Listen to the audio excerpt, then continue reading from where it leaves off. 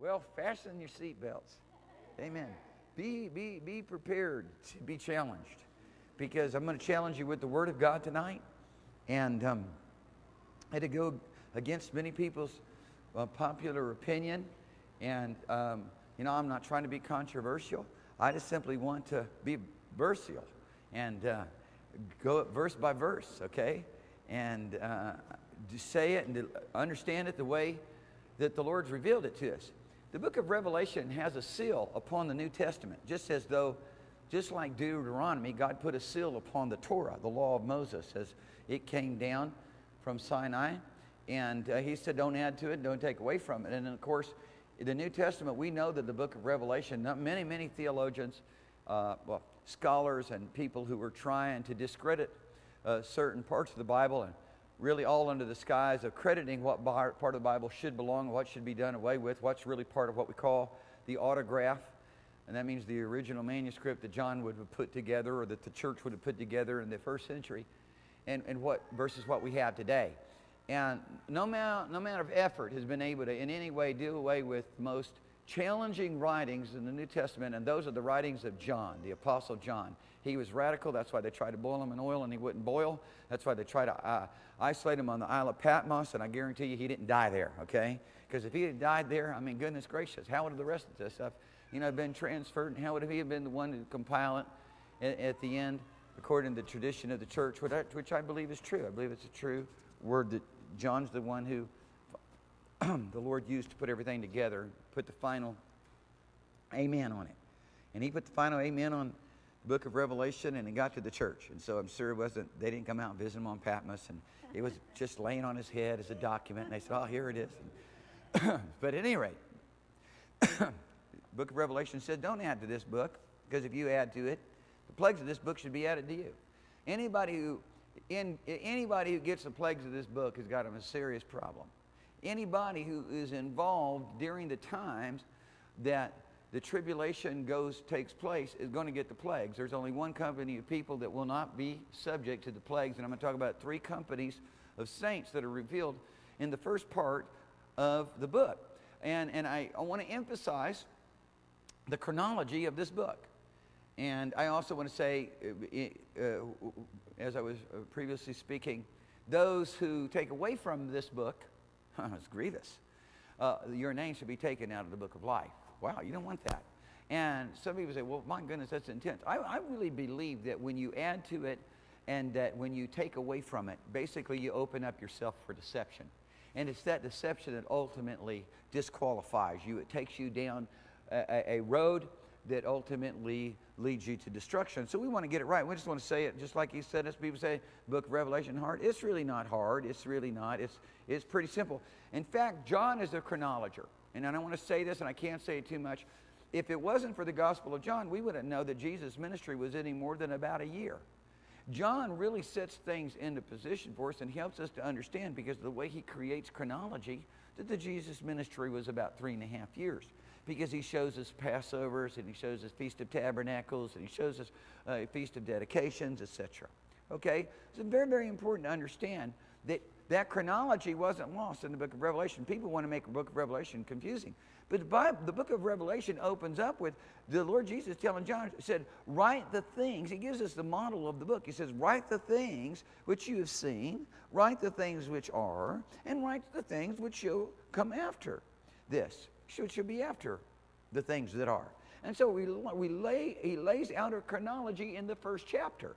And then to emphasize it even more, of course, when Jesus said, Write the things which you've seen, we see chapter 1. Write the things which you are, he addresses the church. And then write the things which shall be hereafter, metatauto in the Greek language. And that word, that phrase, does not occur until Revelation chapter 4. And it says metatauto. So it literally sets up. Now, these are the things that shall be hereafter. Now, what people do, they're challenged with dealing with the things which are and the things which shall be hereafter. Because there is a transition of covenant. There's a transition of covenant that takes place in the book of Revelation. And I want you to be able to see it. I want to emphasize to you the chronology. You could not have more of a chronology than to have it broken down. It is a seven year period clearly defined. It's broken down into years, it's broken down into months, it's broken down into days. And then it goes even further. It doesn't just stop with saying you're going to go in 1,260 days. I mean, it, it, doesn't just break it down into year, uh, uh, a period, a year, months, and days it goes and says, now we're going to have seven seals one, two, three, four, five, six, seven. And then it's going to be followed by seven trumpets one, two, three, four, five, six, seven. And then it's going to be followed by seven vials, uh, uh, uh, bowls of judgment poured out. One, two, three, four, five, six, seven, the end. I mean, what could be more numerical and what could be more chronological, chronological than that? And why it is that people want to confuse this, I'm going to give you one reason because they try to make their doctrines fit, and the only way they can make their doctrines fit is to eliminate their chronology. Well, I'm not going to violate the chronology. I'm going to talk to you on the terms of the things which are, the, or things which you've seen. I'm not going to be talking about what things which you've seen, which is chapter 1, seeing Jesus as he did. I'm not going to be talking about the things which are, which is addressed to the seven churches, which I don't have a problem with saying that it also represents seven different you know, states that the church may be in. I don't have a problem if you want to spiritualize it. It doesn't matter to me. It's the, the things that aren't because the things that aren't means it applies to the whole church age, okay? And, but the bottom line of it is, it's very critical Do you understand that there is a resurrection of the just. And the resurrection is part of the catching away, and God makes it part of the catching away. And, and Paul makes it very clear that it will happen in a moment, in a twinkling of an eye. We should be caught up in the air to meet the Lord Jesus Christ, and that it is part of the resurrection. You don't want to deal with the, and, and, and despise or, or mess up on the re- resurrection. People say rapture is not in the Bible. That is nonsense. Catching away is in the Bible over and again. Rapture is a loan word, but what people are saying, they're saying there's that, they're saying that there is no catching away in the Bible. That if anybody says that and they present themselves as a scholar, they're one of two things. They either lied about being a scholar or they lied about what they know the Bible says. One of two things. They either lied about being a scholar because they present themselves as a scholar and they don't know the Bible, or, and they don't know the language, okay? Or they lied about the actual things that they know. Because I'm telling you, you don't need special glasses for this. Hallelujah. I mean, all you got to do is be like a little child and you can get this, okay? We understand that we should not all sleep or we should not all die, but th- some of us will be changed in a moment. In, at the last trump, in the moment, in twinkling of an eye. And that is very, very important. That we which are alive and remain shall not prevent them which are asleep. So, Paul lays it out in 1 Corinthians chapter 15, lays it out in 1 Thessalonians chapter 4. And let me say this. I can lay out many proofs for you that Paul believed that he was going to be alive at the coming of the Lord Jesus. And he always talked about coming of Lord Jesus. He didn't talk about we're going through the tribulation, it's going to be hectic, man, the Antichrist. Paul didn't say nothing about that. He said, when we said, we, he included himself, we which are alive and remain shall be caught up. That is the word that people say doesn't exist in the Bible. It exists in the Greek language, it exists in the English language, and there is a loan word that people made um, derived from a Latin word, rapture. So big deal. So you could, it's a synonym. So what's wrong with a synonym? You can't tell me that it doesn't exist in the Bible when it's a synonym. And yet you could properly translate the Greek words in such a way because it belongs to a living language understood and spoken by men. Okay? Are you with me? So don't believe that nonsense because there's a bunch of people right now that are actually teaching that we are under the like we're like in the in the in the in the second trumpet. My goodness, if we were in the second trumpet, there wouldn't be any mountains. They're gone. Would, uh, listen, there would be such devastation, such earthquakes, such peril, such plague. 25% of the population is destroyed. But the waters are poisoned to where they destroy and kill men. I can go on and on and on. It's nonsense. I want, and that's why I got stirred up about. I'm gonna start. I'm gonna start teaching on the Book of Revelation because there's so much nonsense going down. People so confused, and, and people so gullible, and even furthermore, they so trusting that just go ahead and listen to what anybody's got to say. Go to your Bible and look it up. I said, go to your Bible and look it up and don't use it as a desk reference that you just consult based upon a, serious, a particular question or, uh, uh, you know, an interest that you may have. Read it, study it, examine it, okay? Very important. And so, you know, I want to talk to you a little bit. I'm going to give you a little bit of review tonight because I want to help you understand really a lot of what the prophets have to say about just these first seven seals, just the first seven seals.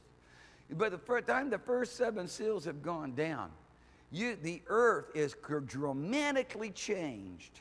Events have taken place that have never happened before. For example, the sun, the sun is completely blackened. What happens when the sun doesn't emit light? I'm telling you, you freezing. You're freezing in a way that you have never even imagined. There are even under the seven seals, before the seven seals are even done, which is just the first part of the first three and a half years, the, the wind is held back. There is no wind. There's no wind blowing on the earth. There's been such devastating earthquakes that the mountains have, sea, have been flattened, that there, there have been such events that the sea, the rivers have dried up. Huh.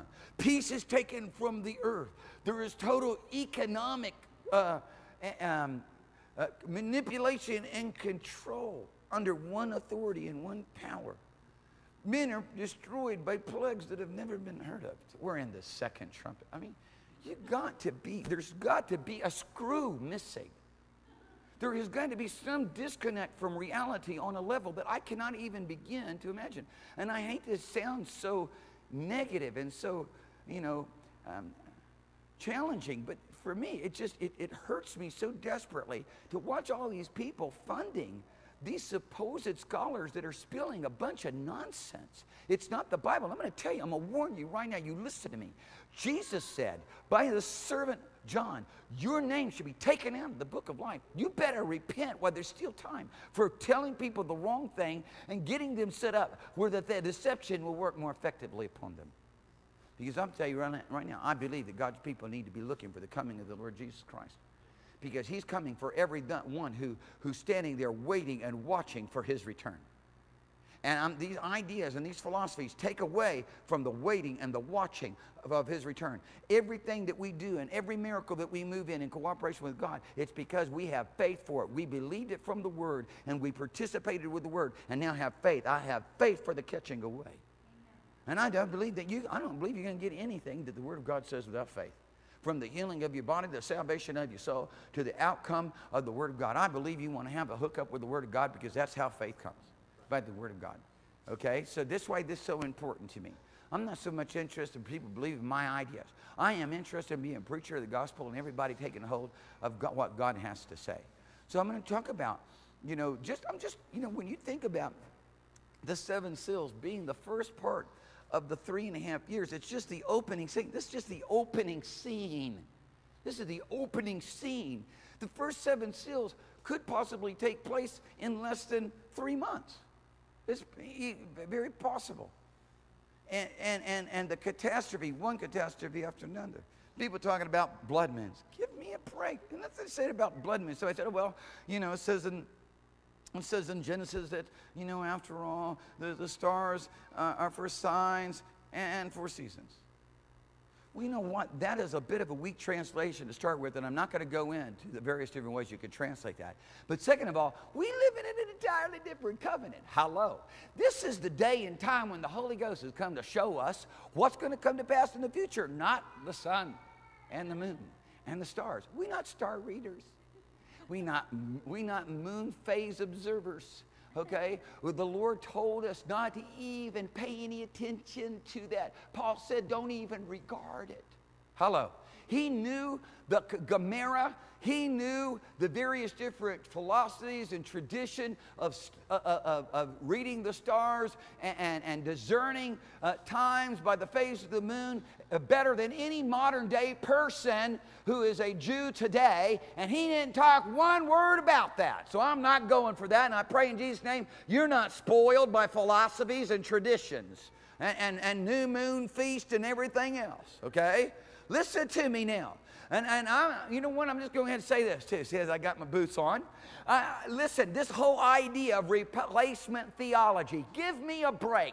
Replacement theology. What on earth are you talking about? Listen, Israel was brought into the kingdom of God. They were cut off. They can be grafted back in. Gentiles were now grafted and brought into the kingdom of God. They weren't brought into Israel. The church didn't replace Israel. There is no replacement at all. It doesn't even exist. Israel's not the kingdom of God. The kingdom of God existed far before Israel ever existed. We as a church was not were not grafted into Israel. We were grafted into the kingdom of God. Jesus destroyed the middle wall of partition, a division, and he said, There is no difference between the Jew hold on to yourself, and the Scythian. They were the most immoral, ungodly people on the face of the earth. And God says there's no difference between them because it's a new covenant. It's now the Lord has opened up the door for all men everywhere, Jew and Gentile, which, by the way, means nations, all other nations. To be able to be a part of the new covenant are made one new man, thus having destroyed any difference or any partitioning or any segregation. this is important for you because there's too many times I go and begin to deal with with uh, my Jewish brethren who've come in to know the Lord Jesus Christ and begin to try to help them understand the error in their theology, and they immediately want to accuse me of anti-Semitism. I'm not. There's no way I'm anti-Semitic. I'm just telling you. I'm telling you. The Gentiles, the church was not grafted into Israel, so the church could never replace Israel. The church is made up of both Jew and Gentile. It's part of the kingdom of God. And if I could just get you to get that right. And I want to say this I believe that the seven year tribulation is about God dealing with Jacob's descendants, dealing with the nation of Israel. That's why the centerpiece of the book of Revelation has to do with Jerusalem and the, and the city uh, uh, uh, uh, uh that God established in the nation of Israel and the occupied areas and territories of Israel. it, it's so very important to me to emphasize that, that point. And, um, you know, that's why we call it Jacob's sorrow and Jacob's trouble. So God's going to be dealing with Israel. He's turning back to deal with Israel, to plead with Israel. And um, it's just his mercy, okay? And that's really what a, a large part of it's about. God's last act of mercy towards Israel. They've been blinded in part. Well, and they that, you know, they were grafted, they were cut off because of unbelief, they're going to be grafted back in. So, I'm not anti Semitic in no stretch of the imagination, okay? God's got a call upon the nation of Israel, He's got a call upon all the nations of the earth. He's going to deal with Israel for Abraham's sake and for Jacob's sake one more time. He's going to deal with them in a very radical way. And I'll just say this, huh, and this would be hard for you to figure out theologically um, because everybody talks about the abomination that makes the holies of holies desolate, which is going to ultimately take place in Israel when the Antichrist comes in in the middle of the tribulation after three and a half years, okay? Which we can identify the very day and hour. And by the way, those people who believe that the catching away is going to come in the middle of the, of the tribulation, if that were to happen, which is the only other opportunity for it to take place, okay? There's really no other opportunity for it to take place from a scripture point of view. I could give you the day and the hour in which the Lord Jesus will return. Because the Lord has given us that exactness, that exactness of detail, okay? In fact, if there's catching away to take place, I could give you the very day and hour that is returned because I would know, because of certain signs and events that would take place, I would know the very beginning of the first day of the start of the tribulation. So I could give you the very day and hour. So knowing that no man would know the day and the hour, there's an event that's going to take place that no man will know the day and the hour. And I tell you, that's catching away. And I tell you, that's what Paul believed he was going to be a part of. And I challenge everybody that does not believe in a catching away to tell me why then did Paul not talk about going through the tribulation because he believed he was going to be there at the second advent of Jesus. So you tell me. You tell me. Huh? You tell me. How would he be able to believe that what most people call the second advent, which we know is the catching away, how did he believe that he was going to be there at the catching away, which people want to make it as a second advent if he went in and go through the tribulation? And if he thought he was going to go through the tribulation, why didn't he talk about it? Huh? All he talked about was the church and what the church, where the church is going to go and what the church is going to do and how the church is going to end. And then John came, and then John came along with the book of Revelation and said, this is what's going to happen after the church. And it's going to be focused on Israel. Now let me just say this. Listen to this. I'm going to tell you how radical the covenant change is. There's no way for the holies of holies to become desolate unless it's occupied. Are you listening to me? There is no way for the holies of holies to become desolate unless God goes and occupies the holies of holies. No way. So you tell me there's not a covenant change. You tell me there's not a shift. I tell you there is. I tell you that is why, beginning in the book, chapter 4 of the book of Revelation, all terminology returns to Old Testament cult terminology. Every, I challenge anybody, come let's talk about it. Let's look at it. We look at it from the Greek language, English language, Hebrew language. I'm not good at Latin, but you know, I'll find somebody else to help you with the Latin if you need. We'll just discuss this issue. The fact of it is, Latin's not our original language, so I don't really care. Neither is English, but we'll talk about it in Greek and we'll talk about it in Hebrew. Because it's all Old Testament language. It's as though we did a time warp and went back to the Old Testament. I'm not saying that that is, the, that, that, that is that it's an Old Testament covenant reenacted. I am telling you that the morning and the evening sacrifice will be reinstituted. And that God will come and dwell in the holies of holies. And that that whole in interaction with the temple of God will once again be reactivated. Otherwise, you can't make desolate the holies of holies because it's already empty. Are you listening to me? So there's a lot of things that people need to deal with.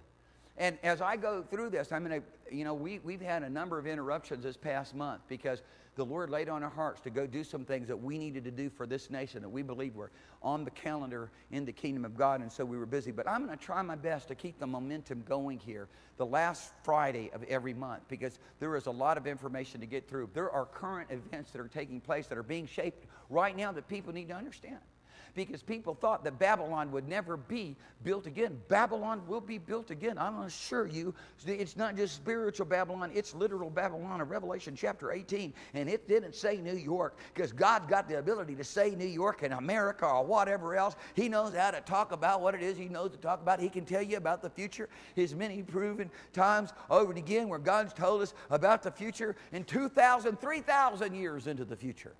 And He described it perfectly. Hello. Babylon will be the great center once again of the world. And, and you know, uh, there are things described, for example, in Obadiah and in Isaiah and Jeremiah that few people have never dealt with. Commonalities of Obadiah, Jeremiah, and Isaiah, of where that ultimately, once again, Bozrah, uh, Edom, and Teman will be great centers again. Right now, they're rock, they're just rock rubble. But eventually, it's going to happen. And it's not going to just be a you know, pile of rock. It's going, they're going to be cities, and people are going to wonder at him. And Jesus is going to go and execute his judgment in Bozrah before he ever gets to Armageddon. Who is this that comes with dyed garments from Bozrah, whose garments are dipped in blood? Huh? Who's executing his vengeance? Are you listening to me? He's going to stop, he's going to stomp Edomites out. Edomonians. Listen to me. The only way that we can, and then here you go, here's some current events for you. Get ready to stone me. Okay? By and large, we understand historically Palestinians to be Edomonians, Edomites. And I know what's going to happen. Israel will indeed not because of some kind of belief about replacement theology, because we don't believe it. We believe in the church, but yet at the same time, we know that God is going to deal with Israel for Abraham's sake, because he's promised to do so. Hallelujah. And we understand that they will occupy all of Jerusalem, an event that has not happened, and that Temple Mount will be occupied by them as well, and that there will be a temple built to, for their abomination of desolation to take place. And we also understand that Edom and, and, and Bozrah and Teman will be built again, which is now nothing but a desert. I'm going to tell you right now, there's some geographical uh, and social and political uh, events and economic events that are going to be dramatically changing over the next few years because we at the end days. Because I see, I, I don't see Israel staying, I mean, the Palestinians staying in Gaza. I don't see it. I don't see the Palestinians staying in the West Bank. I don't see it. I don't see that I, I don't see that event that would ultimately keep, uh, or those conditions that ultimately keep these events from unfolding, remaining as they are. I see, I see ancient Edom being rebuilt and repopulated again. Watch what happens. A homeland for the Palestinians. Watch what happens. Watch, I'm just saying this. I'm just saying what there's a lot of events that are going to ultimately be developed in order for the whole World Trade Center to be once again back there in an alliance in ancient Iran and Iraq. You know, somebody said, How are the Sunnis and the Shiites ever going to get together? Divisions too, too deep. Well, when they both have a common enemy, they'll quit fighting one another, go fight the common enemy, and then they'll get back to their fight later. Are you listening to me? But then there's going to be some events that are going to transpire to where the, they're going to be brought together uh, and, and, and come under another kind of religious rule, which we call the seventh kingdom. And I'm not going to talk about that right now. And, um, and before too long here, I'm going to talk about the eighth kingdom. And the eighth kingdom is something that most people have never really dealt with. What the eighth kingdom really is it's the final kingdom, it's the kingdom that emerges in the last three and a half years of the tribulation, which we call the Great Tribulation. It begins to be unfolded what's going on in there in the last of the trumpets and, and beginning the first vial judgments. As soon as that eighth kingdom, that perverse kingdom, where Satan comes down out of heaven and begins to interact with men again. He comes out of the unseen, he's cast out of the unseen, and now begins to interact with men again, as it happened even in the days of Noah. Watch what happens. There is going to be the rise of the occult. There's going to be the rise of witchcraft. There's going to be the rise of sorcery. There's going to be the rise of interacting with demon powers and angelic beings of darkness like no one ever even imagined in the last three and a half years, but building up to the last three and a half years. You know, it might have been not too long ago that we could not have even imagined how that men would have come and fight against God. But look at the effect of humanism. Look at the effect of Hollywood. How that they basically are making these aliens and create these aliens, and, and man will all get together and they'll mount an offensive against these aliens, you know, and ultimately overthrow them. Ultimately, here's God saying, You're not going to have homosexuality. You're not going to have uh, adultery. You're not going to have witchcraft. You're not going to have the immorality. You're not going to have all of the things that you're doing. And they're going to say, No, we're going to come and break off your bands from off of us. We will not let you rule over us. You're going to try to uh, invade our, invade our lives and our human uh, society, and we're not going to allow it. And they're led by the arch deceiver, Satan himself, who ultimately believes true because he's a, re- a rebel and a deceiver that he can still overthrow God. He's been trying to overthrow God for a long time. He tried to bring the host of heaven against God. Isaiah told us about it in Isaiah chapter 14. Tried to bring the host of heaven against God to overthrow God. He, he was cast to the ground, Jesus said, as lightning is cast to the ground. He has not stopped. I, believe in Job. He's got a contest. He's saying, Look, he's trying to get God to abdicate. I believe this. He's saying, There's nobody who loves you and wants to serve you on the earth. Satan, where have you been? I just came from walking up and down the earth. And basically, the inference is, No one walks with you because immediately Father said, Did you consider my one servant? my perfect servant Job, who then ultimately stands for us as a type of Christ because he's being willing now to be God's champion, to suffer whatever he's got to suffer on the behalf of humanity to prove that there's a man who wants to walk with God, who's willing to walk with God no matter what. It's true. Satan rises up, he's going to rise up in the tribulation and try to lead a great army against God. It's not going to be the end. yes, was he destroyed 2,000 years ago? Yeah, but he don't believe a bit word of it. He's going to try to overthrow God. He don't believe it right now. He doesn't believe that you're redeemed. He believes he can claim you and destroy your soul in hell. You're going to have to find yourself a place of authority. I'm going to be ministering this weekend on the authority that Christians are too afraid to embrace. Ruling, reigning authority that God has given us, that Satan fights against it with his circumstances and with all of his tricks and all of his wiles to keep God's people from stepping over into. but Father's going to allow, in his mercy and his grace, some people are going to get this. They're going to quit being under the influence of Satan's criticism, his lies, his division, his slander, his, all of his other nonsense. Hallelujah. I'll be one of those people, and I pray in Jesus' name you'll be one of them too. Amen. So, you know, if you look at just Revelation chapter 6 and you look at Revelation chapter 7, you're basically seeing there the first seven seals. And you know what happens on the seventh seal? The seventh seal starts the trumpet judgments. Seventh seal initiates the trumpet judgments. And then the seventh trumpet initiates the seven vial or seven bowl judgments, okay? So what I want to so uh, show you real quickly, and I, and I can't overemphasize, you've got to keep it chronological. You've got to keep it day one, day two, day three, all the way up to 1,260 days. You've got to keep it, those divisions as it's laid out also in Revelation, but also in Daniel, of, of three and a half years, and understand the months that are at work, the division of the months that are at work, okay? And, uh, and that, understand that these are sequence of events, and I've gone over them. And I also want to say this. you know, before you even get out of the seals, which once again, I'm going to say you can argue, maybe it's three months. Well, even if it's, it's, the first year of the tribulation, okay? And you divide it into the thirds there for the first, you know, if you took seven, just take seven seals and seven uh, trumpets and divide them equally among, you know, three and a half years, okay? The, the total number of months would be what, 30 months? Is that right? 12, uh, three times, uh, three times 12, 36, and then half a year. So uh, 36 plus 6 would be what? 42, correct? 42 months, right? So divide them, so you basically take those, those uh, 17, uh, forgive me, 14 events, mm, divide them by 42, and just make them equal like that. And you can see, my goodness, there's a lot of events that are going to happen in just a few months. Are you with me? And so before, you know, somebody said we're in the second trumpet. Oh my goodness gracious.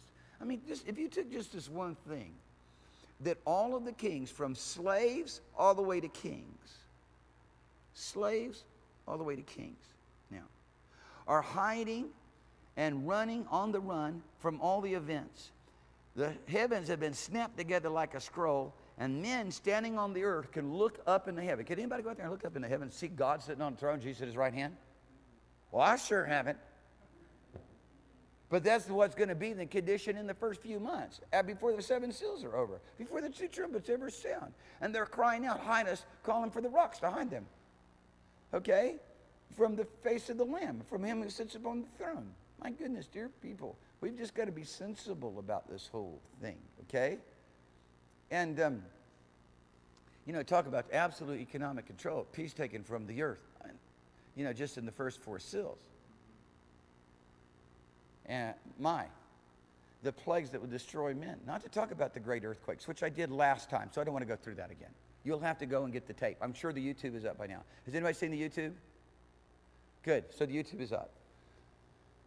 Now, what I want to do quickly is I want to look at the three companies of people that are identified under the, in the, just in the initial part of the opening book of tribulation. In the, in the opening book of the uh, opening statements of the, of the book of Revelation, during the tribulation, three companies of saints are identified under the seven seals. And I want you to look at them with me because they're important to, to identify. Okay?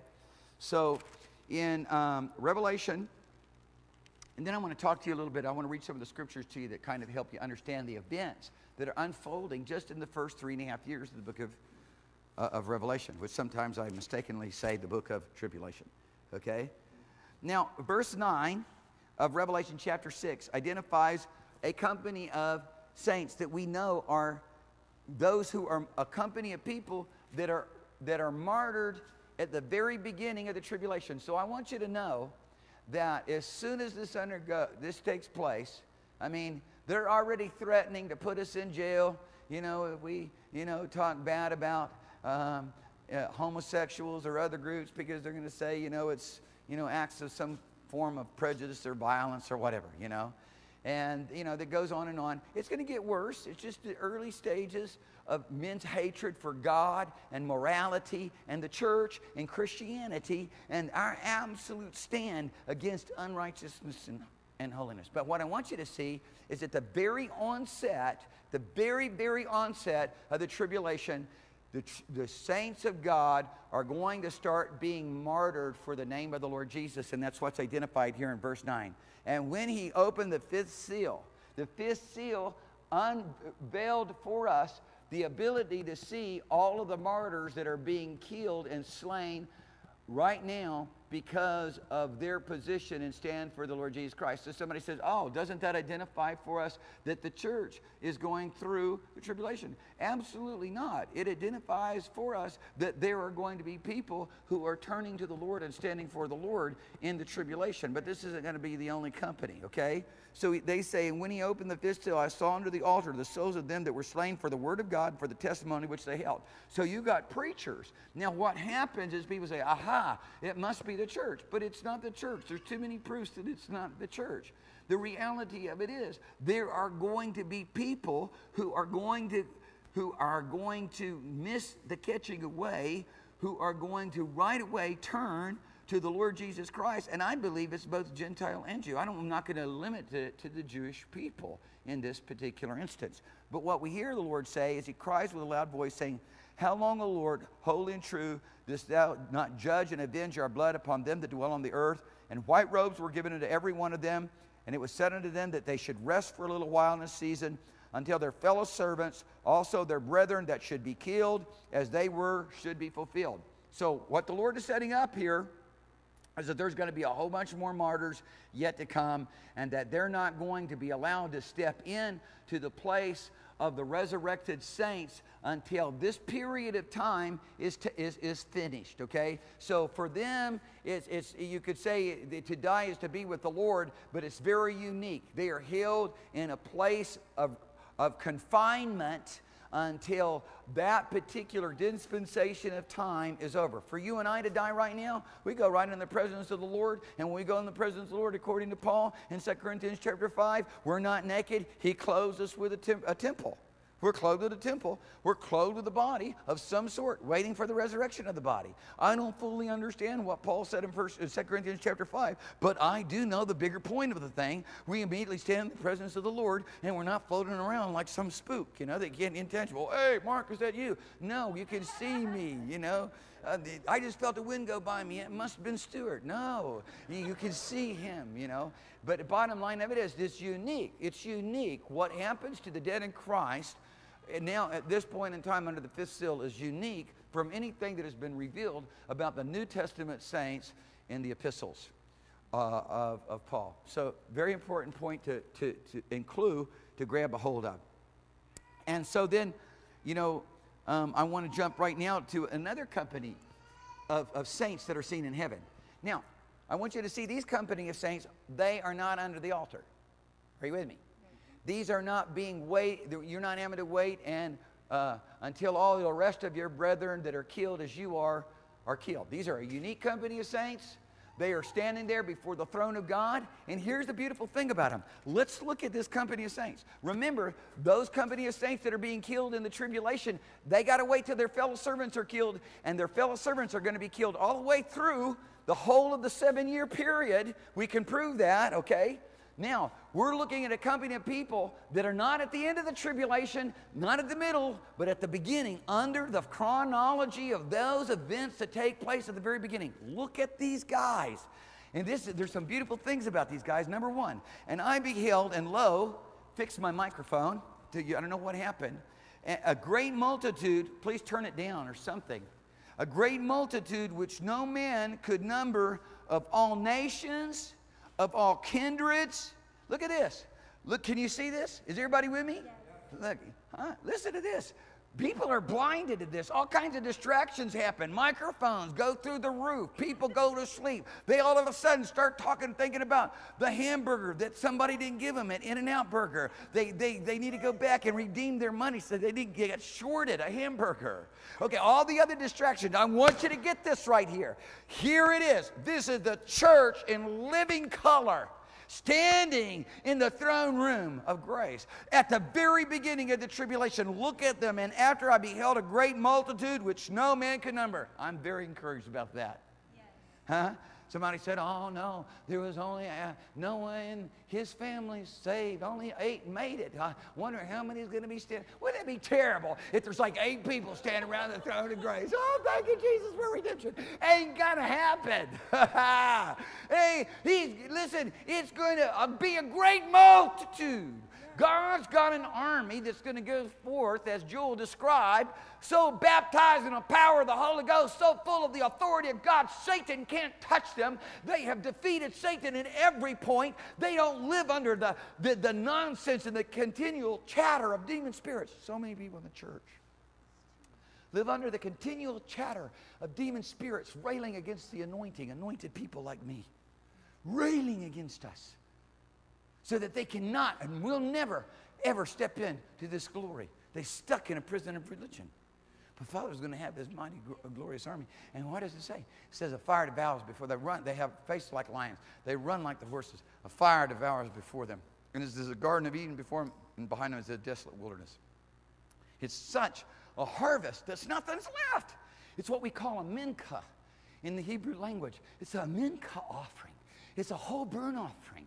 It's, it's, it's, it's everything now being offered up. It's more than first fruits, it's everything, even the gleaning of the harvest. What a great harvest. Look at them. I saw an innumerable company of people, more than anybody could be able to number, of every nation. Listen, every nation. That's why I'm going for every nation. That's why I've got, that's why I have Kashmir on my, um, on, on my hit list. Chad's coming down in Jesus' name uh, from the kingdoms of darkness into the kingdom and up into the kingdom of the dear Son. It stood before the throne and before the Lamb, clothed in white robes and palms in their hands. They've just come out of a great uh, uh, battle that they fought. You and I are in a great battle. You might not recognize it. You think that all these ideas and thoughts running through your head are just something that is from some logical conclusion. Most of it's demonic inspiration that you need to learn how to shut down, pull down, stop, cast down. He says, and he, and he goes on to describe us up there. And he cried with a loud voice, saying, and, and, and cried with loud, they cried with a loud voice, saying, Salvation to our God, which sitteth upon the throne, to the Lamb. And all the angels stood round about the throne and about the elders and the four and the four beasts fell before the throne on the faces and worshiped God, saying, Amen. Blessed glory and wisdom, thanksgiving, honor, and power might be unto God forever and ever. Amen. And one of the elders answered, saying unto me, Who are these arrayed in white robes, and whence came they? And I said, Sir, don't you know? And he said unto me, He said, Don't you understand? He's like saying, This your company of people. What do you mean? You don't know who these guys are? He's talking to the leader of the church, saying, What do you mean? You don't know who these guys are? This is your company. He said, These are they. He says in verse, in verse 15, Therefore are they before the, uh, forgive me, verse 14, he says, These are they which came out of great tribulation and have washed their robes and made them white in the blood of the Lamb. And I'm going to tell you right now, we live in great tribulation. There will be a great tribulation, which is called the great day of his wrath, which is in the last three and a half years of the tribulation, which will take place under the vial or bowl judgments. But these are another company of people that came out of a different kind of great tribulation. And if you haven't noticed lately, you in the big middle of it. Hello. And people cave under its pressure. Huh? And as soon as anybody gets a little bit of an anointing, I watch Satan ta- attack them, and many of them are just taken out. As soon as you get to a place of threaten, you're threatening now the kingdom of darkness because you stepped into a little bit more of anointing. You just you now you dangerous. And then Satan's going to come, Satan's allowed to come at you just that much harder. And I watch people taken out all the time. Look, the church is neutralized by all these lies that Satan's, Satan's got a perfect strategy. He's got a perfect strategy where he's constantly running interference by people pointing the fingers at those that are anointed and constantly bringing down those things through arguments and strife and debates where the church can't be salt, can't be light. Imagine if the church of San Diego, California weren't living in division and, and accusation against one another. Imagine if the people in this church would quit living in division and accusation. listen to me. That's why slander or accuser is the same word for devil as diablos. Because God says it's no different. If you a slanderer, accuser, he calls you a devil. In fact, if it says, consider the aged women, Paul talking to Titus, right? What does he say? He said, let them be women of reverence, holiness, not given to much wine, not devils. And of course, we can't say it that way. So we say, not accusers. But it's diablos. Because the devil is a slanderer. If, you could, if God's people could just get smart enough to recognize the devices of Satan, that what he effectively uses to keep us from being the light that shines, the salt that preserves, a great awakening would have already taken place. people would be saved by the tens of thousands, hundreds of thousands. I am not going to run the risk of the Lord saying, you know what, I would have done a great revival in your church if you hadn't listened so much to the devil and constantly been being used by him to shut down the meeting. By your accusations and, and your slander and your unwillingness to participate. It ain't going to happen with me. I pray it doesn't happen with you. I'm going to be all in with God. I'm going to be doing what my Father does. I'm going to do what Father shows me to do. He showed me in His Word. I'm going to say what Father showed me to say. He showed me His Word. He told me, showed us how to walk in love, how to walk in His, in his ministry uh, uh, of laying down our lives one for another. We are in tribulation, dear people. I want you to know it. We are in a battle against Satan. But right now, we have authority to overcome Satan. It, by the time they get to the great wrath of God or the last three and a half years of the tribulation, the great tribulation, they will not have authority to overcome Satan. Satan will have authority to overcome the saints. That's going to be hectic. And you know how they're going to die? They're going to die as martyrs. By and large, when you look in the book of, of Revelation, the people that go from the tribulation into the first resurrection saints are martyrs. That's the only definition we have for people getting into heaven. It's a different transition. You've got to go by way of death because we only know of two others that are raised up from the dead. And that's the two witnesses that come that stand, which we, which we believe to be Enoch and Elijah. Some people say, no, no, no, no, it's Moses and Elijah because they're two of the great prophets of the Old Testament. Well, it can't be Moses because Moses already died. Huh? What, how's it going to get back here? Is he going to get reincarnated? He's already died. There's only two men who've never died. And that's why we conclude it's Enoch and Elijah, two men reserved, two witnesses standing before the Lord. Are you with me? Okay. How am, how are we going to get Moses back? Yeah.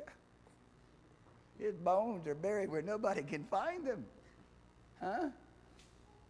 Huh? At best, he's been raised up to, from the dead with Jesus. At the time Jesus was raised up. It's possible. You know what's possible? Many saints came up out of the ground when Jesus rose from the dead. Right? I don't know. I'm not, I don't know. It's not revealed. I'm just saying. At best, he's got a resurrected body. What's it going to do? Are you with me? At best. Otherwise, the Lord's going to have to raise him to, to life again, which I'm not going to put past God. He's going to have to raise him to life again from his bones. Someone's going to have to go out there, wherever he's at, raise him to life again from his bones, which God can do. And he's going to have to die a second time. So is it completely out of the question? No, because God can do anything. But it just doesn't stand within the context of why does God have two people who never died that are two prophets, both of them for prophets for the end time? Elijah was so upset because he believed he was the prophet that would initiate God's kingdom coming. And when it didn't go down like he thought it was going to go down, he said, all, you know, he goes out to the, you know, goes out into the middle of the desert and says, I want to die because she's still in charge. Huh? Because he's an end time prophet. What did Enoch prophesy? Why is, it that, why is it that Jude picks up one of the most important prophecies of Enoch? Enoch was the prophet that stood at the moment of the last great judgment, the judgment of the flood. And he prophesied of a day when the Lord would come with ten thousands of his saints to execute judgment upon all the ungodly for the ungodly deeds which they've ungodly committed. And he wasn't talking about the days of his grandson. Huh? Are you with me? He was talking about the days of this that we now live in. Pretty radical. So it's perfect. It's perfect, isn't it? So I hope, I hope you grasp that. I hope you understand the reasons why in verse 9 this company of saints this innumerable company of saints is already it's once again it's chron- chronological we're not in the tribulation we're not in the, the finality of the tribulation that's still yet seven trumpets has still got to happen. One more seal still got to happen. Seven more trumpets has still got to happen. Seven bowls have got to happen before you're going to have all the company of the saints. And it doesn't say that these came out of great tri- tribulation having been killed okay in the great tribulation because we've got a distinction. We've got a distinction between those who are martyred in tribulation and killed in the tribulation and these who are standing before the throne. Those that are martyred and killed in this tribulation are under the altar. They cannot come out and stand upon the throne before the living God until all of their brethren that are going to be killed in the tribulation are killed in like manner as they were killed, and then they are going to be clothed at, after that time. Are you with me?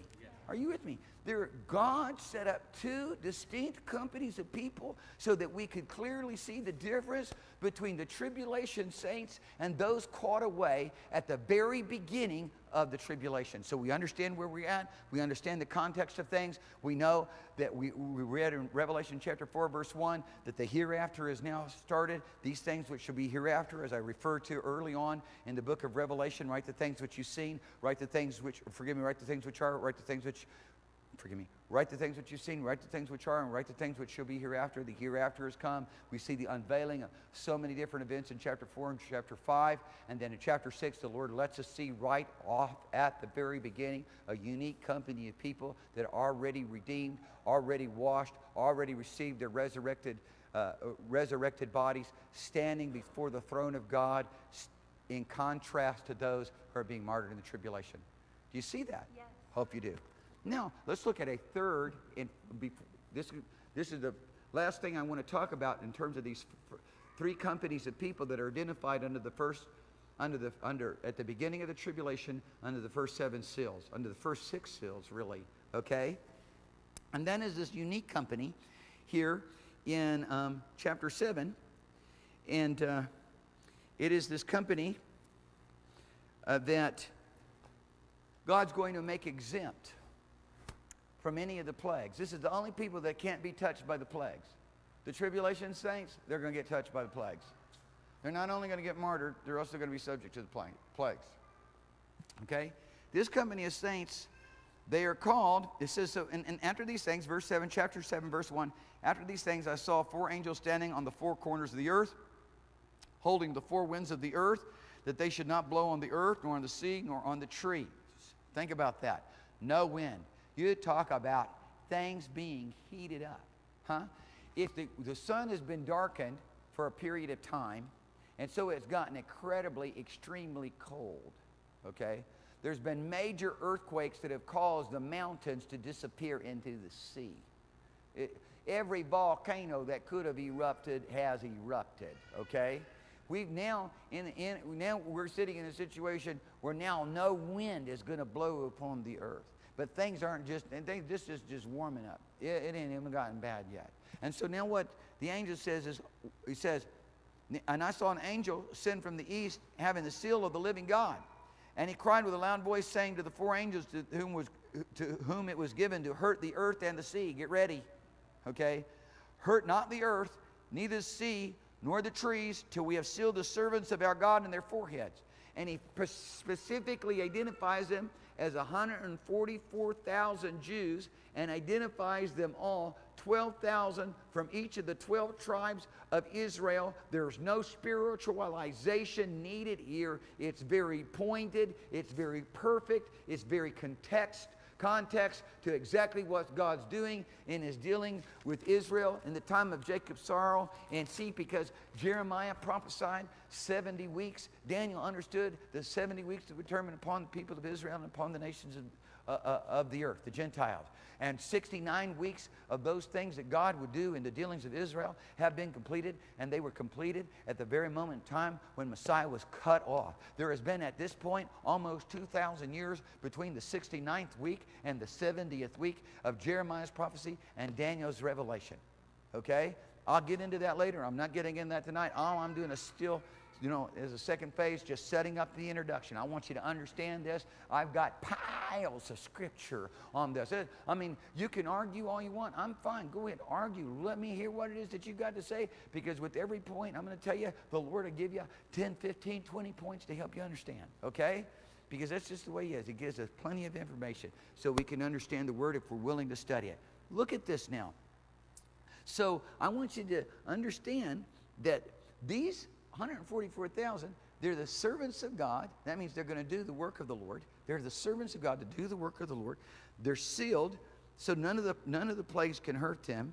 Okay? And I want you to look at exactly who they are because chapter 14 tells us exactly who they are because they're going to stick around now for the first part of the tribulation. They got a job to do. Okay? They can't be hurt. My goodness, think about it. They can't get killed. Yeah. They can't get killed. They're the only ones can't get killed. Everybody else dying right and left. 25% of the earth gets killed here. 20, 25% of the man gets killed here. 25% of the earth gets destroyed over there. I mean, one thing after another. The moon gets turned to black, not the blood moon, black. I mean, forgive me.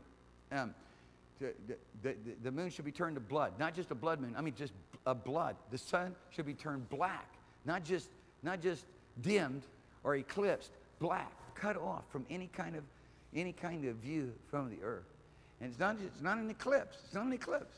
It's blackened. It's darkened. I mean, you talk about how cold it's going to be upon the face of the earth. So, I mean, all of these great events are way beyond anything that has ever happened to the earth. And I'm, i keep saying this over and over again because there's too many people on television right now that supposedly being given the license to know and divulge what's happening right now with respect to prophecy and saying we in the second trumpet. By the second trumpet, my goodness gracious, the whole place is completely wrecked. I mean, come on. It is such, it's a different, it's a different earth by then. It's a different geography by then. I mean, angels are flying around preaching the gospel. I mean, you got demon locusts coming up out of the earth by this time. You got scorpions stinging men and destroying men. And they, they, they, got, they got faces like a man, hair like a woman, and a sting like a, like a scorpion. And they come right up out of the pit of hell. And they're not some kind of helicopter, these are demons. These are demons, demons that are grabbing people, grabbing them by the head and sticking their stinger right into their chest. I mean, tormenting people. It's the worst nightmare. I mean, Hollywood's not even come up with what's going to happen by the second trumpet. How can people be so off their rocker? There is going to be such meteor showers, even under the first seven, six seals, meteor showers that are going to plague the earth. That the kinds of stars, the heaven should be shaken, the stars of heaven should fall. We know that those are meteors. They're going to rain down upon the earth. They're in the midst of an earthquake that will cause the mountains to be leveled and cast into the sea and be no more. And you think about just the whole you know, um, physics of a big meteor hitting the earth. And, the, and I mean, it's like a nuclear explosion. And its effect. Once again, it's creating a dust cloud by itself that will keep, that, will, that could cause a nuclear winter. And then on top of that, the sun's darkened. It's freezing, man. We're pilot. We're buried in snow. We're walking around frozen for I don't know how long. It may only be a couple months. But it's going to be that way. The torment, the torture, the upheaval. It literally, the earth is spewing out sin and iniquity. It can't handle it anymore. That's what the scripture says. The earth has been burdened and plagued with the sin and the iniquity of men so long it cannot take the iniquity and the immorality of man anymore. It spews out man from off the earth. Praise God. I'm happy about that because I'm not in that company. I hate iniquity. I hate evil, every form of it. Amen. So I just want to show you who the 144,000 is because we just got a little bit of an introduction to them in that in that in that uh, statement there in chapter 7, verse 14, chapter 14 rather. Here's who they are. And I behold, and lo, a lamb stood on Mount Zion, and with him was a 444,000, having their father's name written in their forehead. Wow, that's beautiful. Hallelujah. Father's name written there. Hallelujah. Yehovah written in the forehead. Pretty rad, huh? Huh? Yod Vav He Vav. Literally, Yod Vav He Vav. Pronounced Yehovah. Written in the forehead. That's how you say his name. It's tetragrammaton. That's how you pronounce his name or write his name in Hebrew. Yod Hey, Vav. Hey. Unmistakable. Invincible. Can't be touched by anything demon locusts come and see them and, you know, they scream out and run the other way. Anybody else? They on you. Okay, they to torment men. Demons will torment men. Now, demons try and torment. Demons try to torment you. When you recognize it, all torment is of the devil. All fear is of the devil. Every harassing thought, every beguiling thought, every thought of evil and iniquity, demonic harassment, they're my enemies. That's why I can throw it off so quickly. Because I've, I've found my weapons, you see. I've got God power. Hallelujah. Praise God. Now, Satan's going to lie. He's going to tell all kinds of crazy things. He's going to make up things. If you don't have anything real, he's going to make it up. Huh? He's going to make it up about Joseph. He's going to make it up about me. You know, bottom line of it is, Father's going to defend us. He'll prove it at the end of the day. Amen? Amen? He'll defend you. Just walk with him. Just do it, do it his way. Amen. And, and so here we are. And I heard a voice, verse 2, from heaven, as the voice of many waters and as the voice of a great thunder. And I heard the voice of harpers harping with their harps. And they sung as it were a new song before the throne, before the four beasts and the elders, and no man could learn the song except for the 144,000. Praise God. They get a unique position with God. These are unique guys. They had 12, they're men. So I had a woman come up to me and she said, Are you part of the 144,000? I said, No. She said, I am. I said, You can't classify. She said, What not? I said, You're not a man. And I said, Not only must you be a man, but you must be a virtuous man having never known a woman. And I think it's impossible. I think it's pretty much impossible that you have never known a woman, seeing that you are a woman. Okay, so um, they look at you cross-eyed, turn around, and walk away. Well, I need to go find somebody else to talk about or talk to. These are they, verse 4, and I probably set it up like. These are they which were not defiled with women. See that? Spiritualize that for me. It just is what it is. They virgins. They never, they never married. They're celibate. They never married. They set apart to the Lord.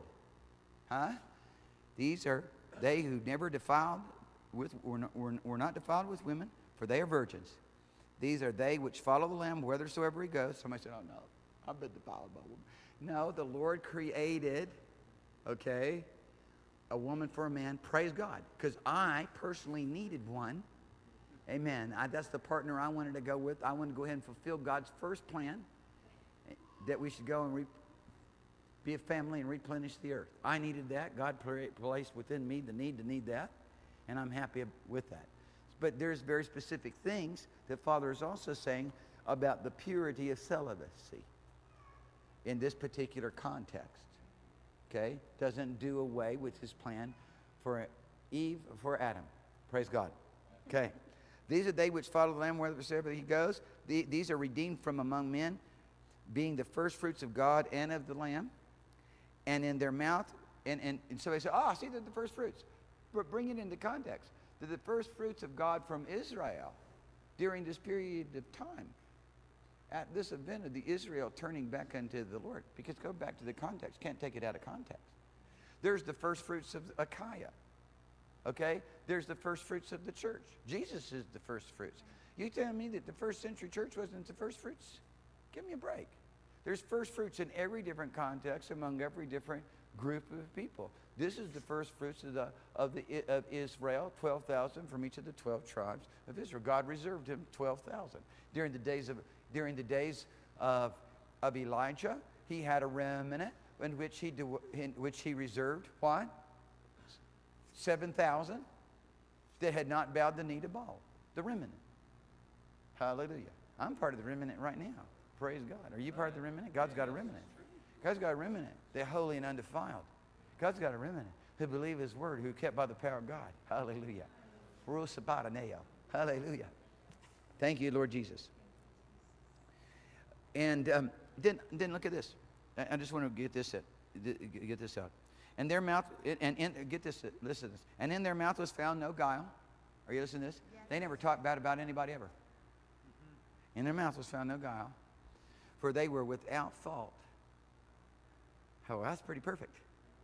They were without fault before the throne of God. So they walked before the throne of God from the very day that they were sealed, without fault, without any guile, doing everything that He said for them to do. Isn't that beautiful? Okay? And then I saw, an, I love this. I saw another angel fly in the midst of heaven, having the everlasting gospel to preach to them that dwell upon the earth, to every nation, kindred, and tongue and people, saying with a loud voice. And, and you know what? Reality of it is, is the angels are preaching the gospel through the tribulation, and you'll see over and again where men have all of these events, and God's looking for them to repent, and it says, and still they would not repent, because you're living in a day of great apostasy, and we see that apostasy taking place. I mean, that's where we're at. That's where we're at. That's where we're at. And, and reality of it is, here's what I see. I see that everybody that gives their life to the Lord in the tribulation and becomes a martyr, they the last little gleaning. They the last little gleaning in God's mercy. The last little gleaning. We're all deception. Anybody who could possibly be delivered from the power of deception, they're the last gleaning. They're the last attempt of God to glean from humanity because I believe that the Lord's going to come when there is no more harvest. There would be no more harvest without these kind of events taking place. And so these events take place, and then there is a gleaning. And it's not a great company of people. The great company of people are from another, another time period, they're the church.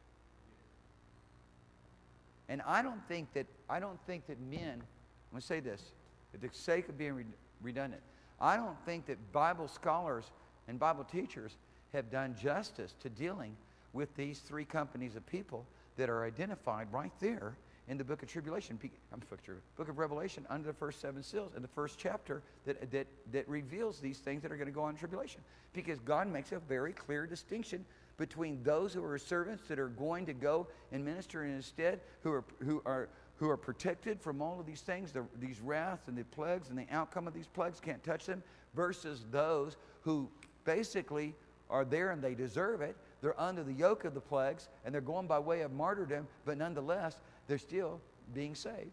And those who are not, clearly not part of the tribulation martyrs because they're not held in the same compartment that tribulation martyrs are held in underneath the altar. I want you to see that. Deal with it. Wrestle with it. Read every commentary you can on it. Listen to all the nonsense that's out there that don't make nonsense because it doesn't make any sense what they're saying. Okay? Three distinct companies. They've got to fit the bill.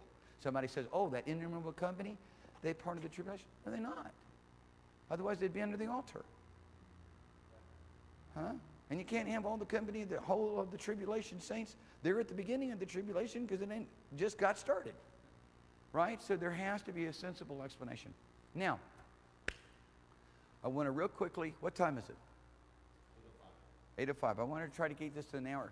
But I just really want to, I real quickly, I want to read to you some of the things that, that, the, that the prophets of old said concerning these last days, okay?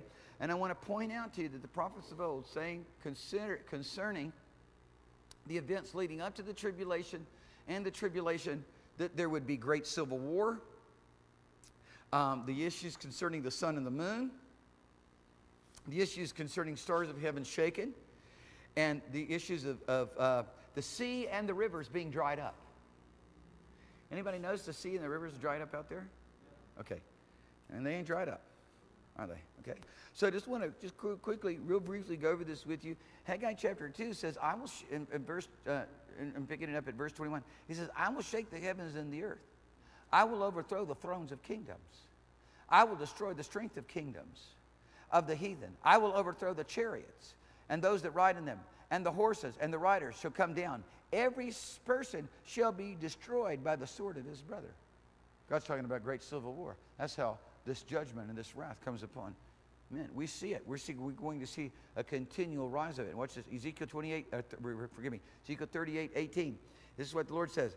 And it shall come to pass in that same time when Gog shall come against the land of Israel. And of course, now we know we're in the tribulation here, says God, that my fury shall come up in my face. For in my jealousy and in the fire of my wrath have I spoken. Surely in that day there shall be a great shaking in the land of Israel, so that the fishes of the sea, the fowls of the heaven, the beasts of the field, and all creeping things that creep upon the earth, and all the men that are upon the earth shall shake at my presence, and the mountains shall be thrown down. And we see that that's happened in the first part of the tribulation. The mountains shall be thrown down, and the steep places shall fall, and every wall shall fall to the ground, and I will call for sword against him throughout all my mountains, says God, and every man's sword shall be against his brother. Once again, there is great civil war during the time of the tribulation with all this with all this upheaval going on. You would think it'd be bad enough just the things that are coming down, okay? Within the perspective of what's happening happening in the natural circumstances, as it were, earthquakes, volcanoes, stars falling, meteors falling from sky, then the supernatural stuff, when the, when the pit, uh, uh, uh, when the hell uh, is open and the pit is open, and all the demon locusts and all the demon power and all the angels are loose. Angels are going to be loose out of River Euphrates. Right now, Reserve River Euphrates is going to do all kinds of terrible deeds and, and things to men. You think that'd be bad enough? No, it's not stopping there. Man's going to be doing terrible things to men as well. And then Isaiah 19:2, and I will set the Egyptian against the Egyptian, and they shall fight everyone against his brother, and everyone against his neighbor, city against city, kingdom against kingdom. Civil war. The Lord said there will be war, rumors of war. Nation shall rise against nation, kingdom against kingdom. And I'm telling you, it wasn't, it's not something that just is necessarily one event. It's a continual event. Now, what the Lord did say is that at the, as, as the day draws near, that the events would have greater sequence and frequency, okay? Mm-hmm. Because it would be like a woman and her birth pains. So you see all these troubles that are pre-tribulation troubles.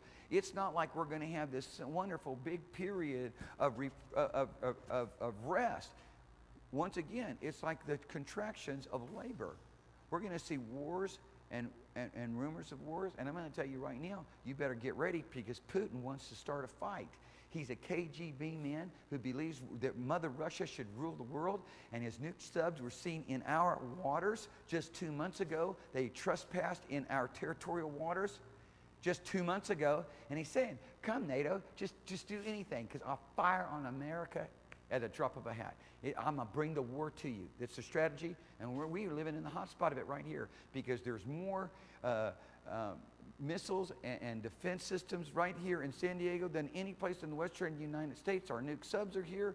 Our nuke silos are here in Point Loma. Our, our, our military shipyard, our military bases, the biggest stockpile of nuclear warheads are right up here in LA. They're going to take it out. They're going to take out San Onofre, San Onofre because it will create contamination for hundreds of miles around. I mean, people, we live on the edge of great devastation, and that's just from a basic war. That's just a basic war basic war. It's a, the, Israel has got to go take out the nuclear th- threat in Iran. They are going to have to respond ultimately to what's going on with Hezbollah as much as they're having to respond to um, the Hamas right now because it's spreading. What's it going to spread? It's, it's on fire. It's on fire. Syria and, and Iraq and Iran are going to join together. And even, even though 10 years ago people would have said it'd be impossible because the great division between the Sunni and the Shiite is going to happen because they've got a common enemy, they'll defer their fight between themselves and go fight their common enemy. Israel's got to get in the mix of it. Iran, uh, Russia's standing by Iran just saying, mess with them, mess with them, and we're on you. Huh? And listen, dear people, there's a lot of reason for us to be praying. We know, here's what we know commonly, this is what we know that America stood at a crossroads and made the wrong decision. Because as long as we would join ourselves in the Lord, there would be a preservation, there would be a protection. But here we are. I'm not saying a judgment's going to come. I'm saying an act of mercy is going to come. And that, that, that the things that have blinded people's hearts and made people so, so arrogant and so rebellious and defiant against God. Listen, this nation was bound and dedicated to God, and you can't take it back and hand it over to the devil and think that you're gonna, there's not going to be a violation of spiritual laws. Here we are, be we in a serious situation here. The, uh, the economy is changing. The world economy is changing. I, I'm, I'm, I'm, listen, I'm going to tell you, I was with people who are on the inside of things that are going on in this nation. They told me things that I can never repeat. If I repeated them right now, I, I would be visited tonight, believe me. I would be visited as soon as the word got out. We don't know all the things that the Lord has prevented this past 12 months that was purposed to go down, and it was put this way it can't be stopped. It's going to happen, and nobody can stop it. And this was by some of the highest people in decision making in government and military power. And God prevented it because of his mercy. Once again, give it another opportunity, give another opportunity, give another opportunity. 2011, the Lord told me there is time, there's a window of time to prepare. And I've run. I've not let up. I've run wide open, preparing for the coming days. And I'm, I, I and, and you know, they told us here, for example, in this building, you know, the powers that be, the principalities that says, oh man, you're going to have to tear down the building or you're going to have to do all these reconstruction. I'm not going to be moved. The Lord has given us this property. Amen. So we're just going to start having church right out there awesome. until we can get all this stuff settled. We're going to have church right out there. We're going to get ourselves a tent, you know, a pavilion tent. We're going to have church right out there because I'm not moving. You know why? Because I can see in the midst of great devastation, you know what? You're going to really shine with brightness. When fire's burning, you can't be burned. Huh? When fire's burning everywhere, you can't be burned. Hmm? When trouble's everywhere and you untouched. Amen. Because I already got my seal. I've been sealed by the Holy Ghost. I got the Holy Ghost seal right over here. Amen. I've been sealed by the Spirit of the Lord. Praise God. So have you if you've been born from above. And here I see this property is a great opportunity not only to process thousands and tens of thousands of souls in a humanitarian uh, way, but more importantly, in a spiritual way. Can you imagine people praying for revival? What a great revival happens, and there's tens of thousands of people coming into the kingdom every day. My goodness, what are you going to do? I can't do it all by myself. You're going to have to get yourself an anointing real quick to help out. Huh? And if you always constantly overwhelmed by your circumstances, how are you going to tell somebody else that all is well and that they can trust in God? God's given them power and authority, and there's, God, there's provision and there's meat aplenty. There's going to be plenty of opportunity to multiply the loaves and the fishes. Plenty of opportunity for great miracle of provision because this is what it's going to take. Huh? This I can say. I was with some people in the know, and they point, oh, when I was in D.C., they pointed to the building and say, see this building? See the administrative building? All the officers are set up. They're all ready to go. It's all set for the gold standard. It's, everything's all ready. All the administration is put into place. All they got to do is push the button. It's all about a transition because it's a complete, your dollar has zero value. Zero value. I was telling, today, I was telling some guys today with, with spits left, I said, look, dollar might not mean, mean anything, but that right there is a product that has value because it's one and it's trade for gold.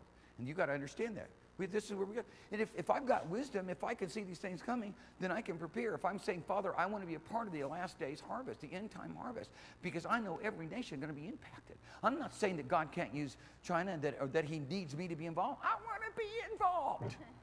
I'm not going to be left out. So I want the latitude to be able to move. Missions are going to be just as big in the inner city. Missions are going to be just as big in the United States as it's going to be in, in, in, in Pakistan or it's going to be in, in Iran or it's going to be in Azerbaijan or Georgia or, or um, you know, wherever on the face of the earth. It's going to be just big here, but I want to be involved in all of it. I want to be. I want to play a key role. I want to look. It takes a while to step into faith, huh? You know, just you know, just one minute you're lost, heathen don't know anything, the next minute you have faith.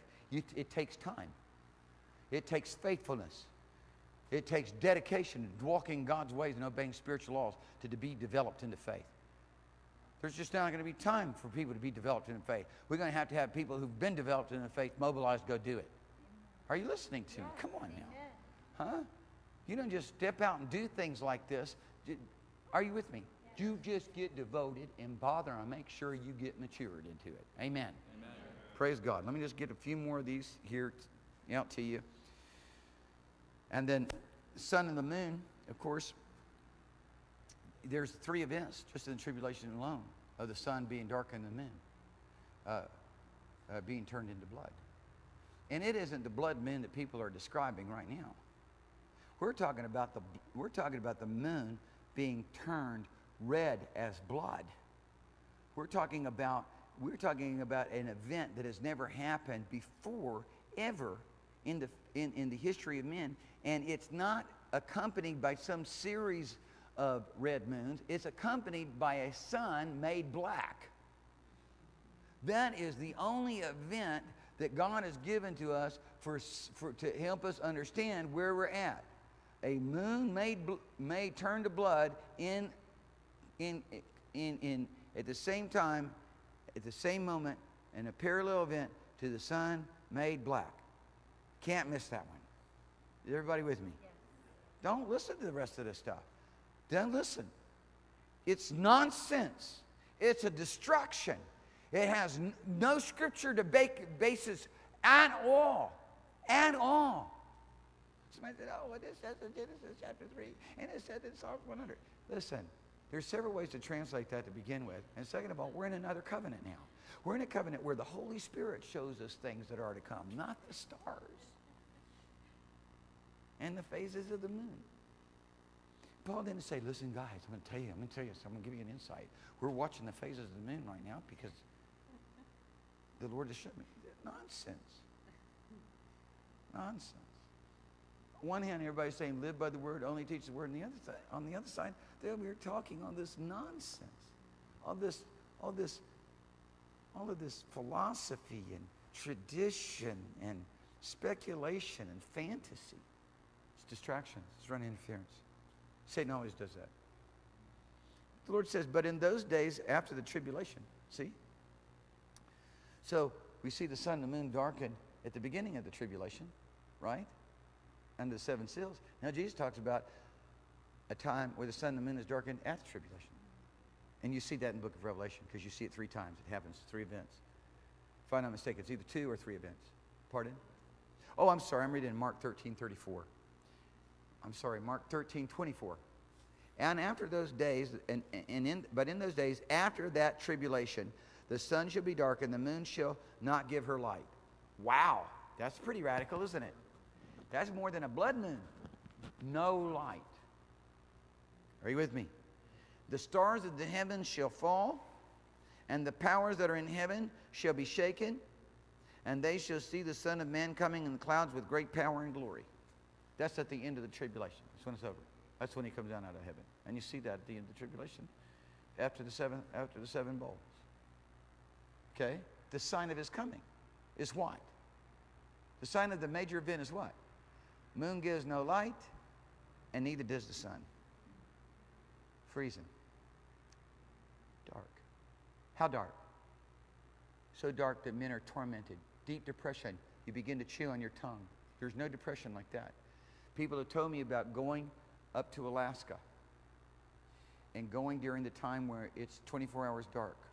And they were only there for three months and they went into acute depression.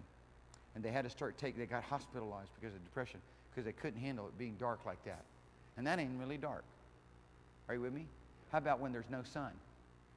How about when there's no moon? How about when there's no star shining? Then gnaw the tongue for, for, for torment and pain. I'm not going to be around that. I'm going to stand on a I'm going to stand on sea of glass, praising God for His goodness, because He's not appointed His children unto wrath. He's delivered us from it. Amen. I'm shut up in the ark. There might be a storm going around on outside, but I don't know it. I'm in the ark of safety. Amen. Hallelujah. We in the great provision of God. In fact, if it is, that's during the marriage supper of the Lamb. The marriage supper of the Lamb is provable, provable to be taking place during the tribulation. We're going to be at the marriage, supper of the Lamb or at the tribulation. I'm the marriage supper of the Lamb. I'm going to the appointed party. The night is coming, darkness is coming, great tribulation is coming for the church. There's no doubt about it. There's no doubt about it. Great tribulation is coming for the church. There's been great tribulation in many days past. Some people right now in the church are living in great tribulation right now, being hung by their ankles. Some people are thrown down into pits in great darkness right now. Some people are in great tribulation coming to the church. There's a, there's a time that's going to be so, you know, Jesus said, the night's coming when no man can work. Huh? I praise God for the fact that, eh, that uh, the, the message of, of Paul at midnight when it's dark and no man can work, having a supernatural event, and the power of God being shaking the place and their chains falling off, the prison doors being open and people being saved. But I'm telling you right now, there is coming a great persecution. And God's people are going to have to be ready for, the, th- for the days that are ahead. And there was, there was, there was, in Jesus' example, was there people who never stepped in the anointing. And they did not have what it took to make it through the night.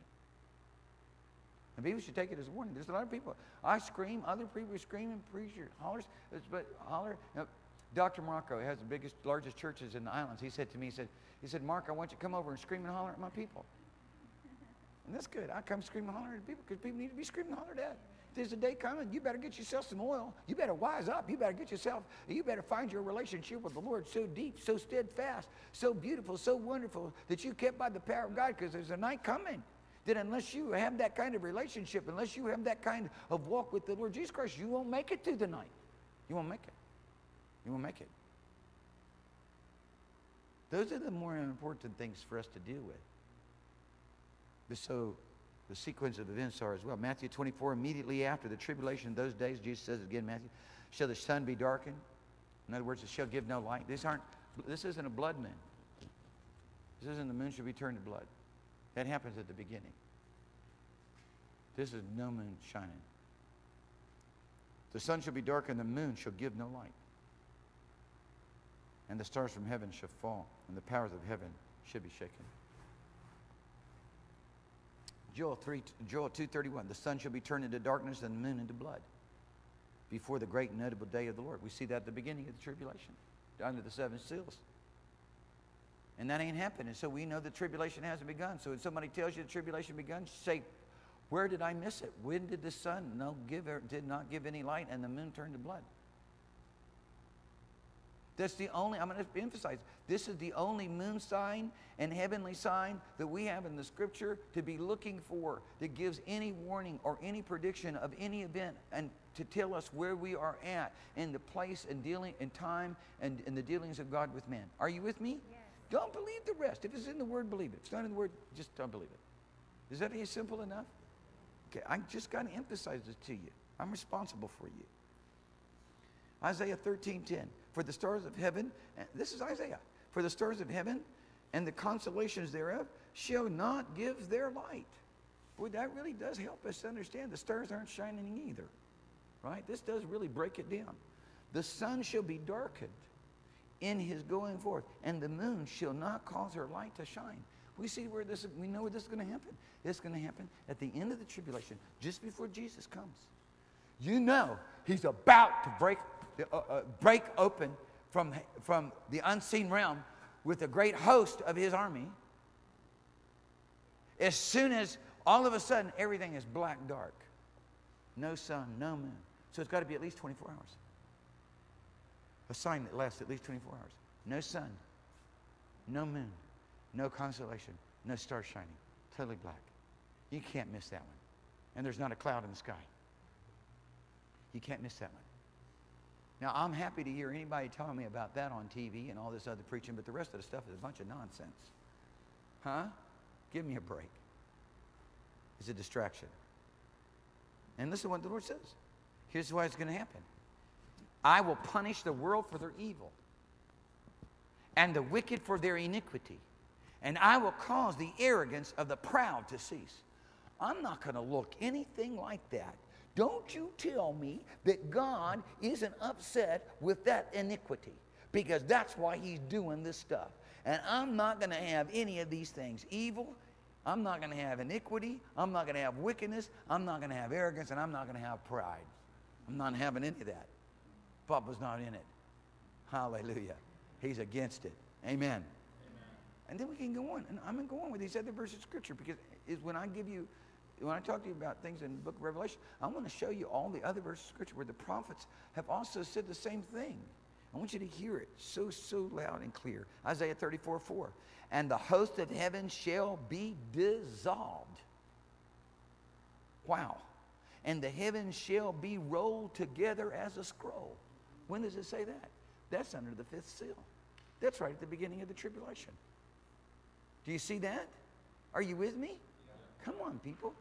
We're talking about an entirely different spiritual dimension and geographical dimension and social dimension that goes far beyond anything that you and I could relate to right now.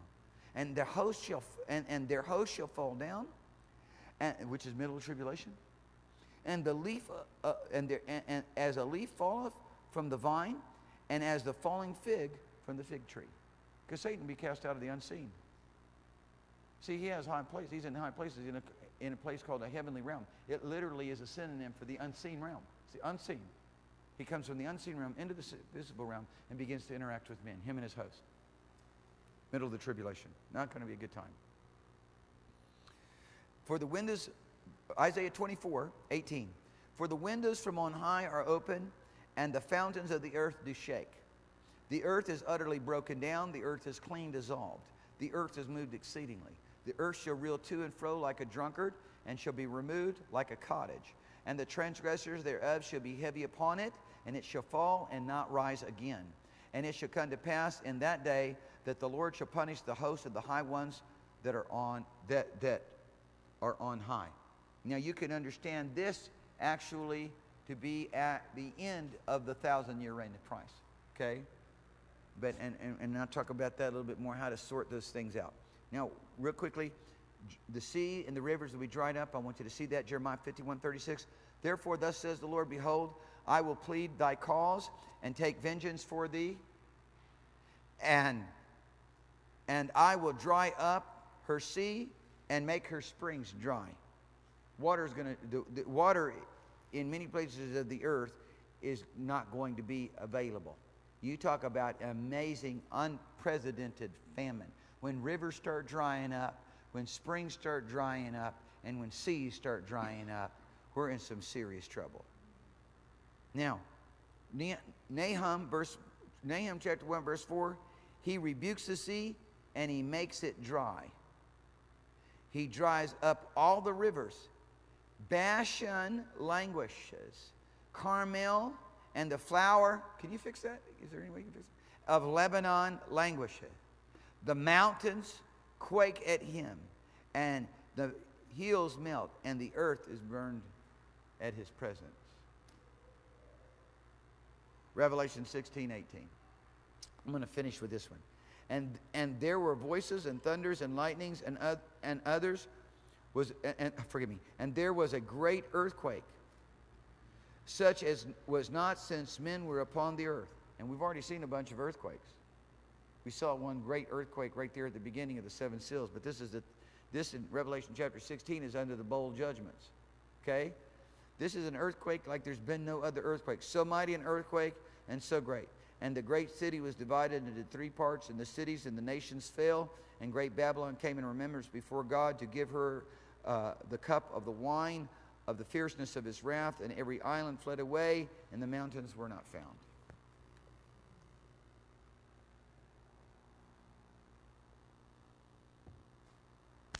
So, At the end of every month on Friday, by the help and the grace of the Lord, we're going to go at this thing. Now, I'm going to try to make up for some lost time. So, what I'm going to do is two weeks from tonight, I'm going to do another Revelation study.